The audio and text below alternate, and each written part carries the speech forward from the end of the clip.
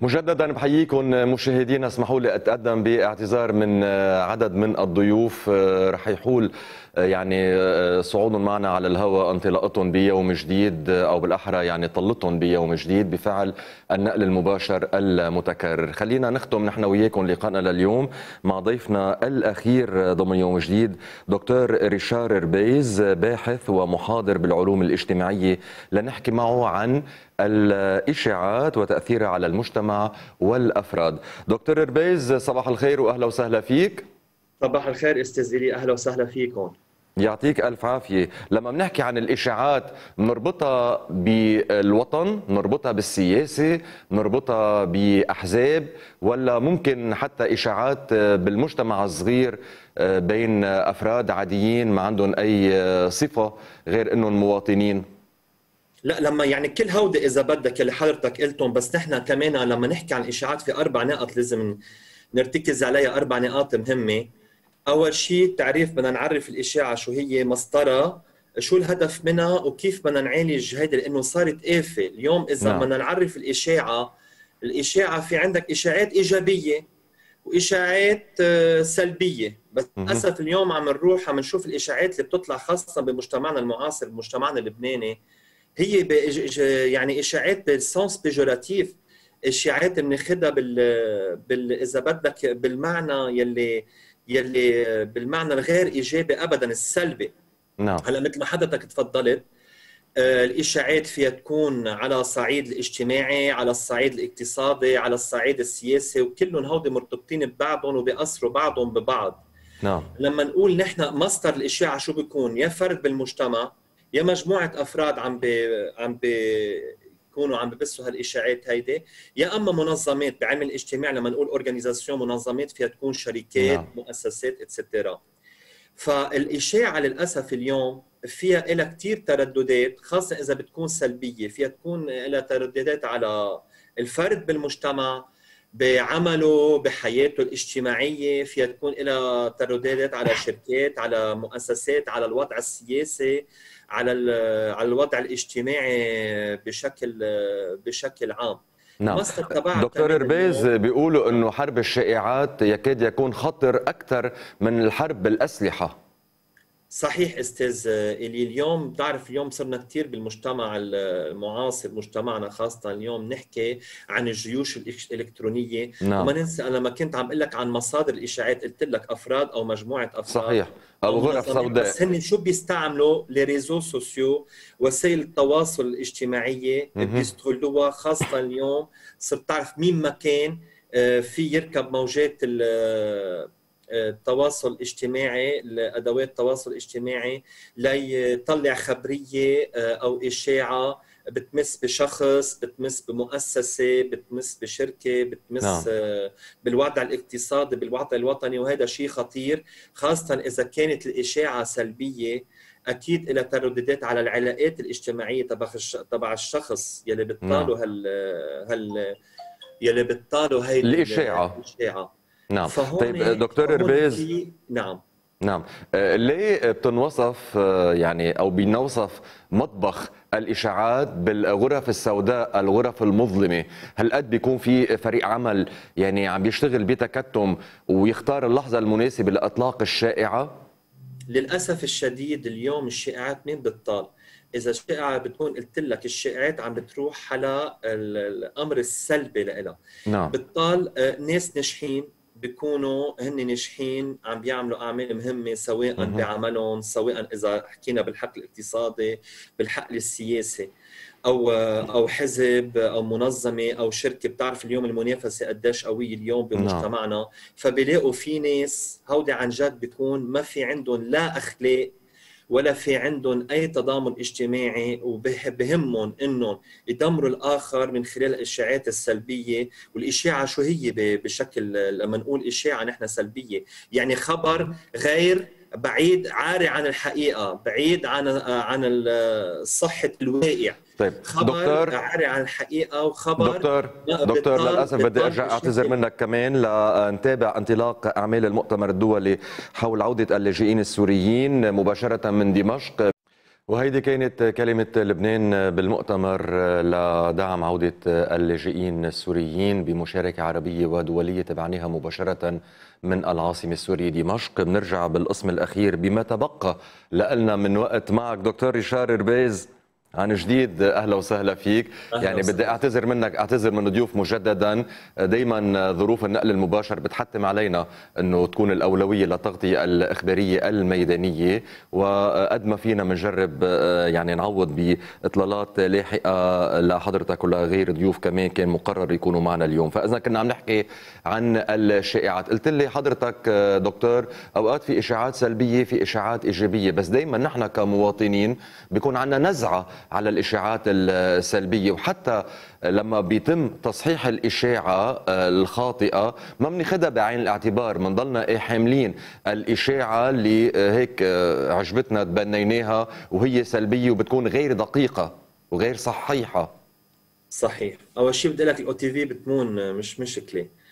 ثاني شيء اللي بدي أقول لك إياه بخصوص اللي عم بتقوله حضرتك أكيد إذا في أطراف عم بيشوفوا إنه الناس المتضررين من الإشاعات السلبية آه، هن كمان بهمهم إنه يحطموا هالناس معنويا واجتماعيا من خلال آه، علاقاتهم أو سياسيا أو اقتصاديا. أكيد بيتمنوا بيتمنوا هالإشاعات وبيتمنى إنه تكون بيتمنوا هن إنه هالإشاعات يمشوا فيها للآخر وكأنهم بيصدقوها بصير إنه نعم. هن بيعتبروه واقع. بس مثل ما قلت لحضرتك لما نحكي اليوم عن الإشاعة عم ناخذها بالسانس بيجوراتيف الإشاعات اليوم اللي عم تطلع وللأسف الشديد عم بتمس بشكل بشكل بدور جدا.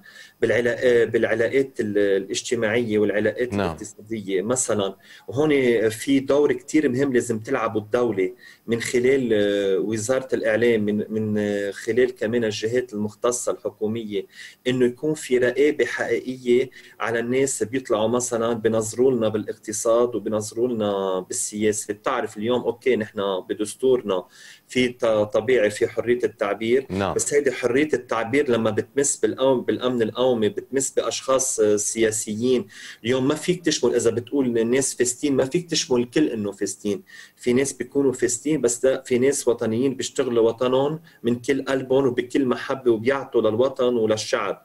فهون هالأشخاص هودي إذا بتلاقي مثلا بتلاقي جهة بدها تضر جهة ثانية بتبقى مثل ما حضرتك قلت بهالغرف السوداء تبعها بنلاقي أخلاقيات يلا بنستعمل مثلا نحن الوسائل الإعلام اللي عندنا وبنبلش نحن نقوص على الأشخاص هودي نعم. بدل ما يكون في تكاتف وطني وبيكون في وحدة وطنية حتى بالمجتمع اليوم لما تلاقي شر بالعالم الاقتصادي شركة ناجحة جدا أو مؤسسه ناجحة جدا.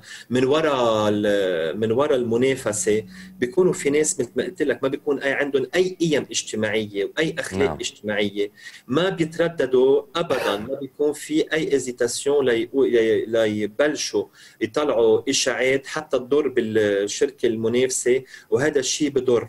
وشغلة ثانية وهيدي كثير خطيرة اليوم بيجوا ناس مثلا ببلشوا يحكوا لك بالوضع الاقتصادي بالوضع المالي ببلشوا يبثوا إشاعات وإشاعات خطيرة جدا عن جد بتأثر على التصرف آه، تبع الفرد بالمجتمع نعم. مثلا اليوم لما أنت بتضلك آه، في مثلا بيكون في محطات بتبلش تحكي اقتصاد وانهيار اقتصادي واقتصاد وانهيار اقتصادي وفي وضع مالي مؤزم نحن عم نحكي قبل الأزمة مثلا عم نعم. نحكي en مش عم نحكي بس بوطننا ما هيدا كمان اليوم المستهلك أو يلي حاطط مصرياته بالبنوك أو بده يجي يستثمر عم نحكي نحن إذا في جو هيدا الجو على طول نعم. اعلامي بيكون فيها الجيوش الإلكترونية الناس بتطلع بتنظر بتوصل بصير العالم بصير في بتخلق لك الإشاعة. آه ارتباك بالمجتمع وارتباك بتصرف المواطنين وارتباك بال بال action sociale وال économique وحتى politique بتصرفاتهم نعم. واتجاهاتهم الاقتصادية والاجتماعية من هيك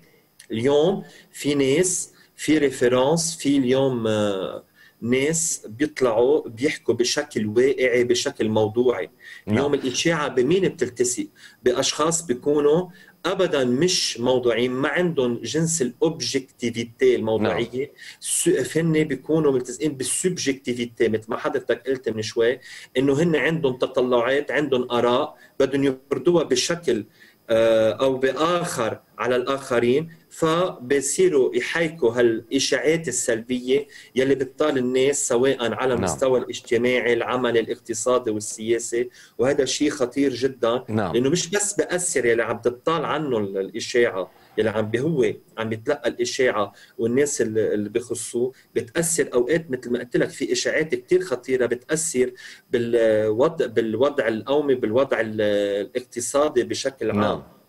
طيب دكتور ربيز يعني آه، بسياق الحديث اللي عم تتفضل فيه حضرتك البعض بيروح إلى إصدار إشاعة وهي وكانها جس نبض. منزت اليوم إشاعة إنه بطل في مصاري بالمصارف. عم بحكي هيك exemple بشوف ردة فعل الجمهور. على أساسها يا بيقوي ال dose أو بنوصل لحقيقة. أوقات الإشاعة عم بتكون تمهيد لحقيقة ما لواقع رح منعيشه. صح مثل ما حضرتك عم تقول للأسف الشديد اليوم في عندنا دي جروب سوسيو. اليوم عندنا جماعات اجتماعية هدفها وكل هدفها وبتتقاضى للأسف ما بيكونوا في عندهم انحطاط أخلاقي تا يبثوا إشاعات تا يعملوا بلبلة اقتصادية أو سياسية أو اجتماعية. وهذا شيء خطير. اليوم نعم. مثلا بيكون عم نحكي بشكل عام نحن بيكون الوضع مثلا المالي أو الاقتصادي آه، بخير. في ناس بيكونوا يعني يعني شو بدي أقول لك ما في عندهم أي حس وطني أو أي حس إخلاقي ببلشوا من سنة من قبل بسن قبل سنتين من من يعني ببرمجوها كمان بيكون في عندهم أجندة. ببلشوا. يكون ببلشوا بشكل مبرمج وبشكل حقير إنه نبلش يحكوا مثلا إنه رح يصير في انهيار ورح يصير في توابع اقتصادية خطيرة ورح يصير في آه، وضع اقتصادي رح يتردى بيكون الوضع منيح ووضع مقبول. نعم. وفي استثمارات مثلا عم نحكي نحن مثل ما عم بقول en général بيوصلوك ما هون الخطورة.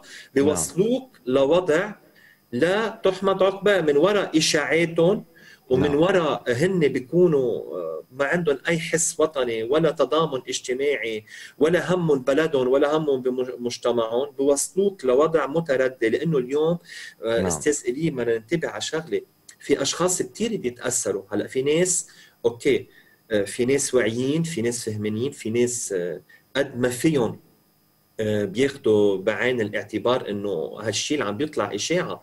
بس في ناس الإشاعة مثل ما حضرتك آه، قلت بتكون موجة وبيركبها كثير عالم آه، بيتبنوها كثير ناس وبيروحوا فيها وبيصدقوها وبيمشوا فيها. وهذا الشيء هذا الشيء الخطير. نعم. وياما نحن بنشوف اليوم للأسف الشديد من وراء الاشاعات السلبية ياما في ناس بتنمس كراماتها ياما في ناس ياما في ناس بينمس تدقر يعني, يعني بيطلوها بعرضها وبأفراد العائله من نعم. هون نحن كيف ما قلت لك النقطة الرابعة لازم يكون في هلأ في ناس أكيد بيلجأوا القضاء وهذا الشيء السليم لازم يصير ولازم نعم. اليوم أي جهة أي شخص أي فرد بالمجتمع سواء كان عم بيطالوا إشاعات على الصعيد الاقتصادي على الصعيد المالي على الصعيد السياسي لازم دغري ينرد على الإشاعة ويتفرج نعم. إنه هيدي الإشاعة هي مغرضة وهي غير بمحل بس الفئه ما بتصدق الرد دكتور والتوضيح.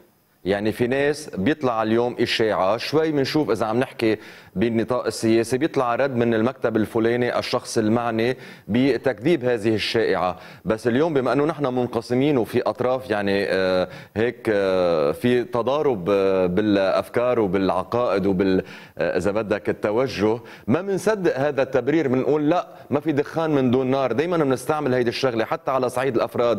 يعني مطلق اليوم شخص بيقول إلي حوشان حرامي وأنا بعرف إنه سرق حدا آه، بيحملوا لي إياها إلى أبد الأبدين. يعني مطلق شخص عنده شغلة ضد إيه؟ ما هيدا طلع عليه صيت حرامي. في صيت ببلاش من دون من دون يعني ما يكون في جزء من الحقيقة وبيركب الصيت وبيضل مرافقك وقد ما تبرر وقد ما تنفي.